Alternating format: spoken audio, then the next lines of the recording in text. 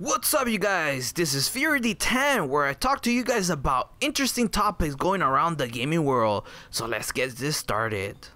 In today's gaming sphere, having the prettiest graphics is a big concern for many gamers.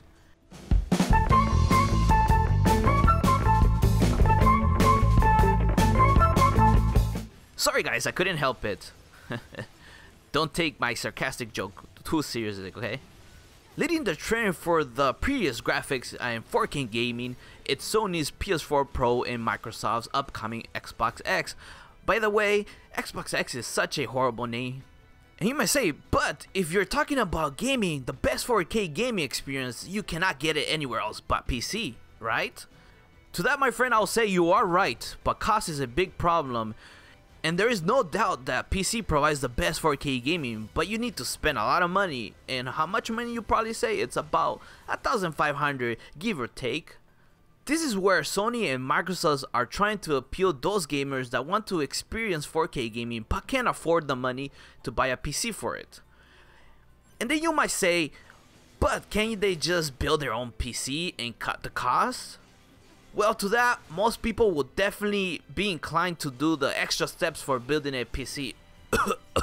um, I'm one of those people. Sony and Microsoft are trying to make that experience cost effective and easy to transition to, and I believe that this is the biggest appeal having 4K gaming on a console versus a PC.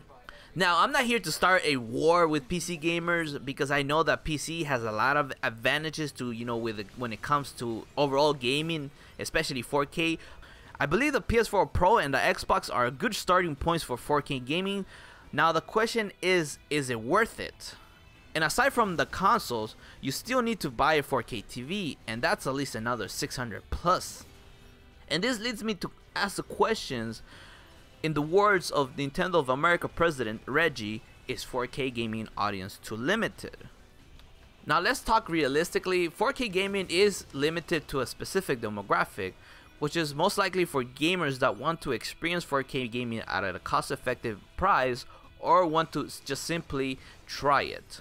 The casual gamers most likely don't know what 4K is. And by the way, it just means that there's more pixels in your screen making this resolution crisper and sharper. To be exact, there's 3,840 pixels by 2160 lines. And let me explain HDR because I think a lot of people don't know what HDR is as well when it comes with 4K. It just means that there's wider granular range of colors and lighting to the screen. And granular means just more particles are added to the colors. That's just some of the basics, you know, 4K and HDR that maybe you might find interesting if you didn't know about it now.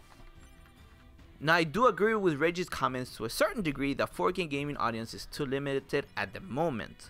4K TVs are becoming more affordable so it won't take long before most households own one. The only question is how long will it take for console technology to be able to play games at native 4K and not just upscale 4K because there's a huge difference between those two things. The only place at the moment that you can get native 4K is only PC, which is most likely too expensive for most people. And for consoles to bridge that gap is probably going to take a couple of years and to make it more affordable. I can only be optimistic to think that it is not too far in the future. Alright guys, tell me your thoughts about 4K gaming on consoles. Do you think it's worth investing on a 4K TV and buying a PlayStation Pro or Xbox X? And maybe you truly don't give a shit about 4K gaming and are just happy with your 1080p and perhaps you even want just to be stable at 60 frames per second which you know I I think I'll be good with that too.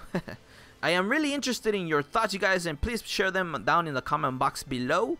If you enjoyed this video, please hit that like and share it with your friends. And if you also want to stay updated for more videos, might as well hit the subscribe buttons. And remember that this was Fearad10. I'll be seeing you guys later.